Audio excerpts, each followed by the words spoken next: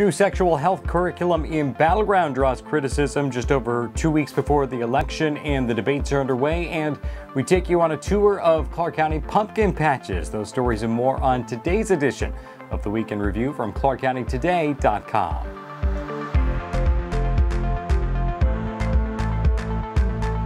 Hey everyone, happy Friday. I'm Chris Brown. We start in Battleground, where approximately 150 people crowded into the room Monday night to give the school board a piece of their mind over proposed new comprehensive sexual health curriculum. This curriculum, I firmly believe, is not safe for children. There are certain things that I can't go into the detail of. I, I don't know the ages of all the children that are sitting in this room, but the rather explicit material in this information is not appropriate for children. I have five children in the school district, ranging from a second grader to an 11th grader. And I would prefer that they get information like this from their teachers rather than the back of the bus, the cafeteria, their peers, or other um, social media or other media. And when I heard about it, I was like, are you kidding me? This is what's going to be taught to a high schooler? I'm sorry, but my high schoolers, and many are, not ready for this information. They do not have the capacity to, to process it properly. You should know that LGBTQ students, they get bullied, harassed, physically assaulted at an astonishing rate. 80% of people who identify with that get bullied and some physically assaulted. It is not okay. There is so many studies right now. The most recent one was all over the nation that said that with gender inclusive curriculum that gets cut by crazy numbers. This is the second go round for the new CSE curriculum after the first attempt was also met with community pushback. The district surveyed over 2,000 people and had their curriculum committee comb through 10 different lesson plans to put together a customized three week program consisting of seven units they hoped would alleviate the concerns of many in the community. Um, we recognize this is sensitive and complex. Um, we're never going to have full agreement on this. Um, there, you know, we tried to respect the law. We tried to do our best to get community input. Um, we have um, tried to keep like the, what is best for all kids front and center. Um, and and and the reality is is that the bulk of this work, I mean, it was really done by the teachers of this school district. Despite voicing some of their own concerns, the board approved the first reading of the curriculum four to one with Tina Lambert as the lone no vote. Well, I feel like we work for the community as board directors, and I think we've heard them loud and clear. Perhaps if we do what they ask, they would respond by voting in favor of our bonds and levies.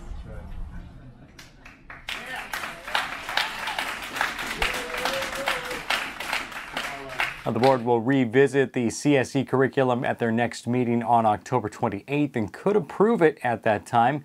It should be noted that parents can opt their students out of any or all of the seven units in the lesson plan.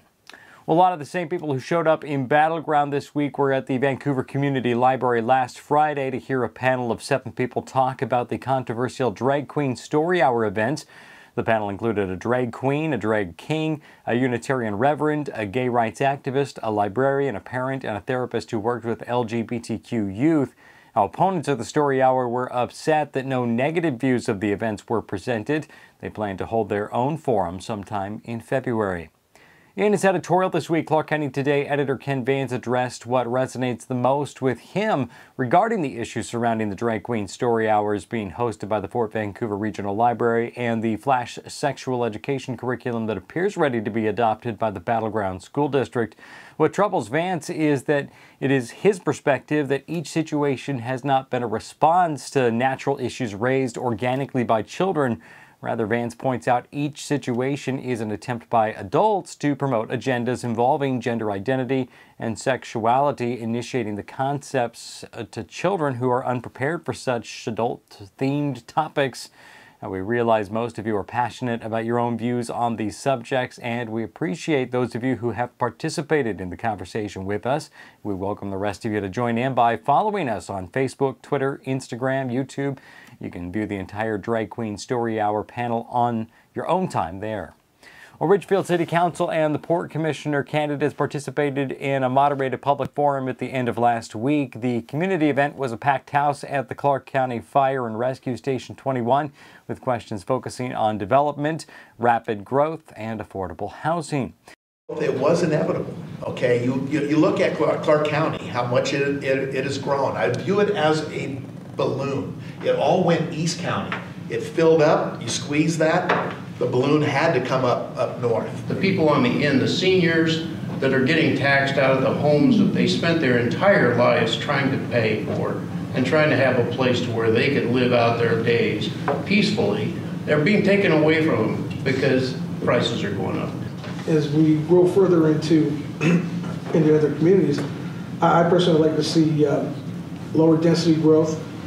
Um, a lot of complaints I hear of uh, parking in the neighborhood streets some of these demands that these new developments are putting on, they're tapping the existing systems and they're putting a strain on it. And we need to be mindful of that. Again, downtown, uh, trying to keep, get a few more businesses down there, keep people coming down there, um, make it like the Main, Main Street Association and the city are trying to make downtown. There isn't too much we can do with how fast it's going. Like it's been said before, we have to just make sure we have a really good plan in place we have to make sure that we design the city we want. I'm looking for a one level, small home with a small yard with maybe shared resources. We don't have that in Ridgefield. I know that the port has a plan, and the city has a plan. I've seen the growth of the city's planning. It's a, I think it's a good plan. It's been developed a long time. We got to make sure that it's a Ridgefield plan, stays that. And it is a Ridgefield plan. We also attended a League of Women Voters candidate forum this week in Battleground and heard from candidates for city council there. The city is dealing with explosive growth and budgeting issues that have them seeking to annex into Fire District 3 to free up revenue. Candidates talked about their views on growth, the city's roadmap project, and dealing with the impact of climate change. Watch for the full write up at ClarkCountyToday.com and follow us for more in depth election preview coverage with just over two weeks to go until the general election. Speaking of, we are participating with Lacamas Magazine to put on a Camas mayoral debate next week. The event will take place Tuesday, October 22nd from 6.30 to 8 p.m. at the Grass Valley Fire Station in Camas. Now, originally, Camas Mayor Shannon Turk was unopposed in the upcoming election, but now two write-in candidates are jumping into the race. Current City Council member Melissa Smith and Camas resident Barry McDonnell have each announced their candidacy for the position. All three candidates have been invited to the debate. Now, the public is invited to attend and also to send prospective questions to event organizers via email admin at lacamasmagazine.com. Well, we're more than halfway through October, and fall has officially ushered in the season of harvest and autumnal activities. Chief among them is the pumpkin patch. We are visiting patches all over the county to give you a taste of what these local farms have for you to enjoy. From hay rides to corn mazes and pumpkin slingshots, that sounds like fun, to home style farm stores. Each patch is unique and we hope you find one you and your family can enjoy. Check out our video tours of the Vancouver Pumpkin Patch in East County and the Patch in Woodland up now. With several more still to come, stay tuned and stay up to date by checking out our Facebook videos and stories at clarkcountytoday.com. Now, time to check in with the man who still believes in the great pumpkin, Paul Valencia. You better believe I believe. Of course, I believe in the great pumpkin. The great pumpkin is silver and black, though, just so you know. Hey, happy Friday, everybody. In sports this week, we did football notes on all the teams from Southwest Washington. Battleground. Wow, Stephen Hancock. I still can't believe it. 350 some odd yards rushing last week, six touchdowns. We recapped his incredible day, and we also named a lot of the guys who blocked for him.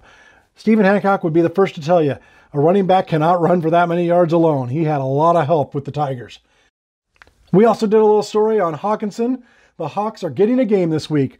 All year, week seven was just a bye, an open date.